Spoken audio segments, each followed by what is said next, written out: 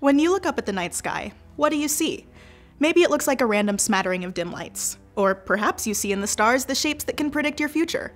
If you're a nerd like me, then you see a field of data and numbers that reflect the quantitative reality of our universe. To our distant ancestors, unimpeded access to the celestial sphere was almost like a God given right. In fact, when many of them gazed at the stars, and the dark spots in between, they did see messages left for them by their gods. What exactly were those messages, and how have our interpretations of them changed over time?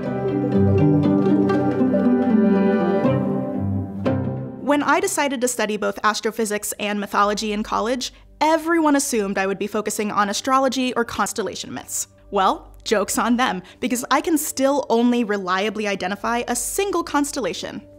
It's all for you, Orion.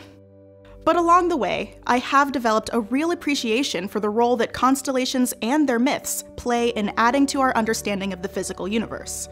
Before we had GPS, weather balloons, and smartphones, humans relied on constellations to keep track of time, predict weather, preserve culture, and navigate as they spread around the globe.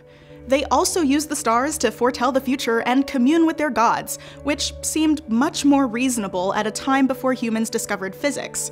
This practical and religious knowledge was encoded in myths. The Ojibwe people native to the Great Lakes region in the US tell a myth about the Fisher constellation. Long ago, the world was covered in snow and ice, and there were no birds to announce the coming of spring. The Fisher was a great hunter who went up to Skyland to free the birds and bring warmth back to the earth.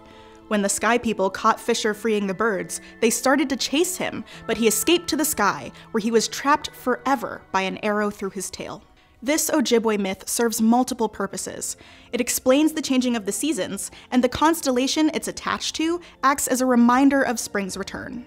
No matter what they used the constellations for, the fact that ancient humans used them at all meant that people were studying the sky.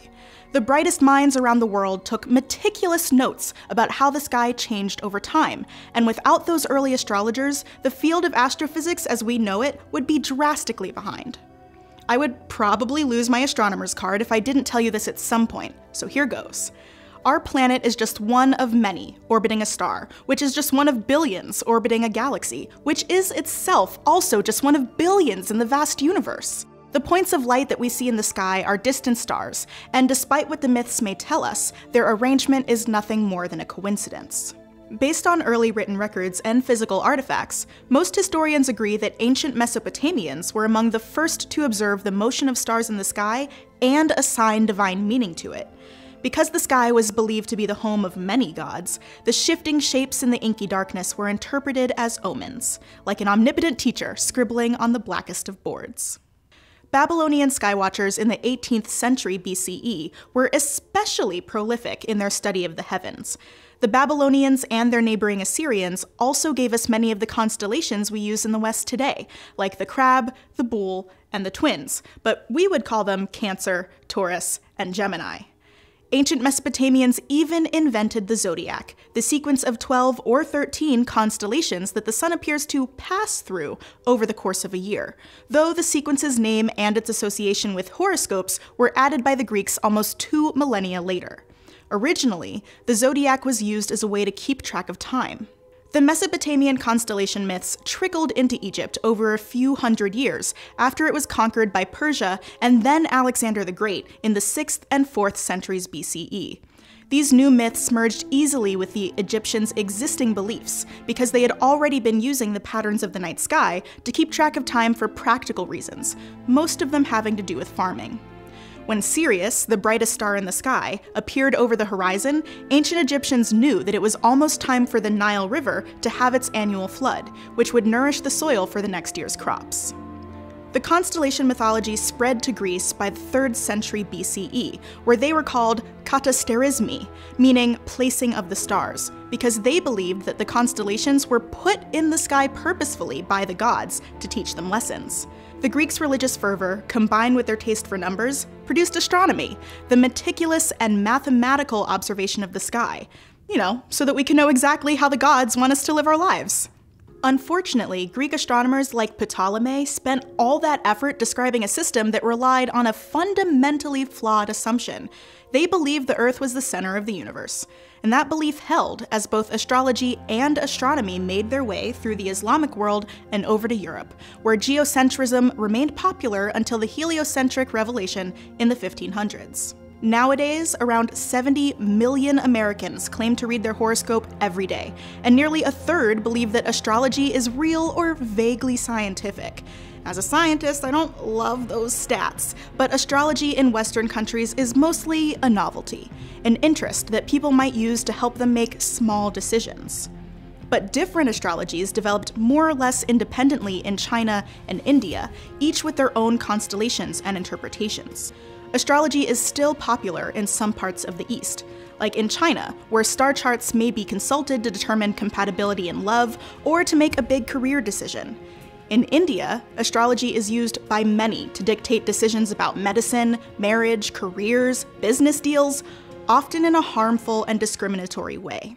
I've always thought it was kind of a shame that conversations about constellations are so often dominated by the Greeks, because some of the most beautiful views of space can only be seen properly from the southern hemisphere.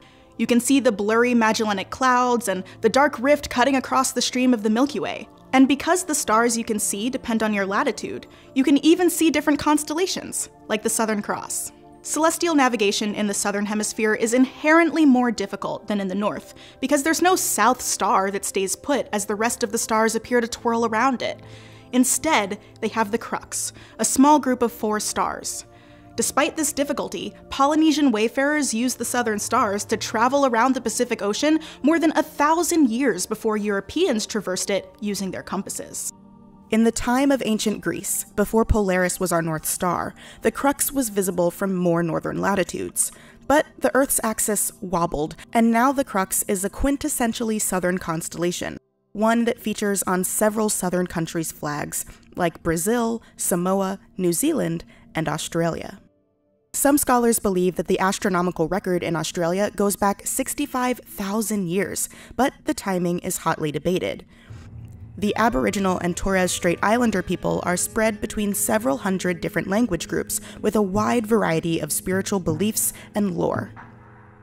Despite their many cultural differences, cave paintings and other archaeological evidence show that many Aboriginal Australians were using stars as calendars for more than 10,000 years before the Babylonians read their motion as omens and in a time before written language was developed, the user manual for these celestial timekeepers was passed down through oral stories and other art forms.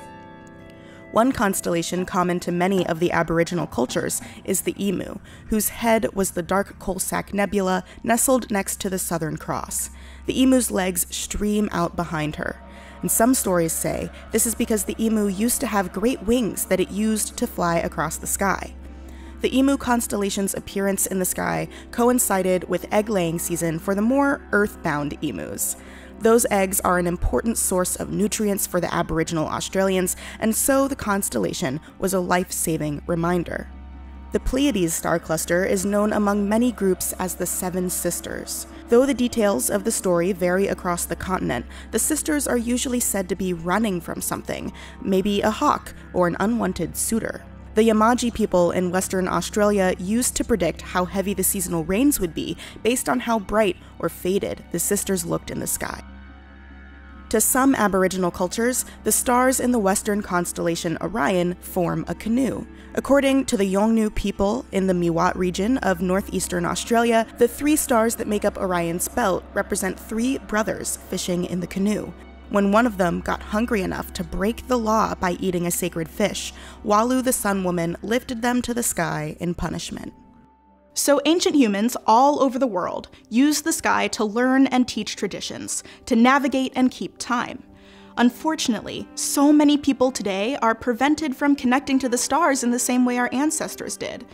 According to the Dark Sky Association, a nonprofit dedicated to ensuring that everyone has access to the night sky, about 80% of the world's population has a diminished view of the sky because of light and air pollution. But losing access to the stars doesn't have to be an inevitable casualty of scientific progress. Through policy and individual action, we can reduce atmospheric pollution of all kinds and have more of a say in what we see when we look up. Maybe one day I'll even be able to see more than just a handful of stars from my New York City apartment. A girl can dream, can't she? In the meantime, there are plenty of apps you can use to acquaint yourself with the night sky and track constellations as they spin above you, even if you can't see them. Just knowing they're there will connect you to all of the humans who have contemplated the stars before you.